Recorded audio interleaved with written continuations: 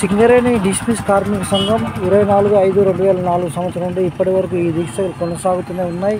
Demands ఎలాంటి షరతులు లేకుండా ఉద్యోగాలు కల్పించాలి. చనిపోయిన కార్మిక కుటుంబంలో ఒక్కరికి ఉద్యోగ అవకాశాలు కల్పించాలి. పెండింగ్లో ఉన్న కోర్టు పనులన్నీ వెంటనే పరిష్కరించాలి. అక్రమ డిస్మిస్ నిలిపి నిలిపివేయాలి.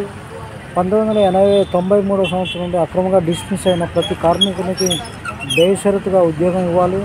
మరణించిన వయసు పడిన కుటుంబాలు ఒక్కరికి ఉద్యోగం ఇవ్వాలి లేదా ఇరవై ఐదు లక్షలు నష్టపరిహారం కట్టించాలి.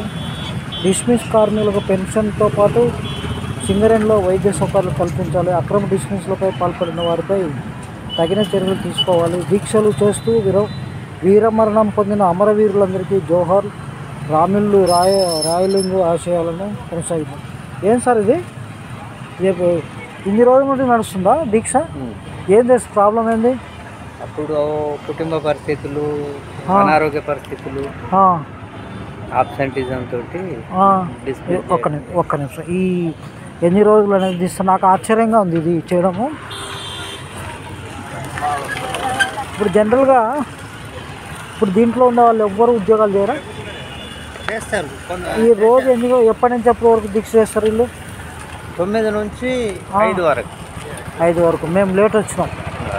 మేము మీ ఓపెన్ కా అది కాచిపేట మీటింగ్ గురించి వచ్చినాము. ఇప్పుడు దీని మీద జిఎం కానీ ఎవరు స్పందించరా?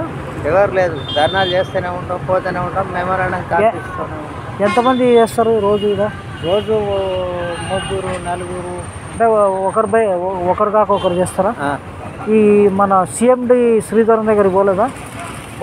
పోయినాము. ఆయన చూస్తే చాలా కలిసినాం ఏమన్నా నష్టపరిహారం ఏమి మొన్న పోయిన నెల వస్తున్నా. ఆనందరావు ఇక్కడ రండి ఇక్కడ రండి మీరు ఇక్కడ చూసినావా ఓకే ఆనందరావు చూస్తే కలిసినాం ఆ, సిఎండి తోటి మీరు కలవండి శ్రీధర్ గారికి ఆ. ఈ లోకల్ ఎమ్మెల్యే మీ మీ లీడర్ నెంబర్ ఉందా ఎవరు వీళ్ళు ఉన్నారా లీడర్స్ నేనే నేనే నీవేరా లీడరు నెంబర్ మరి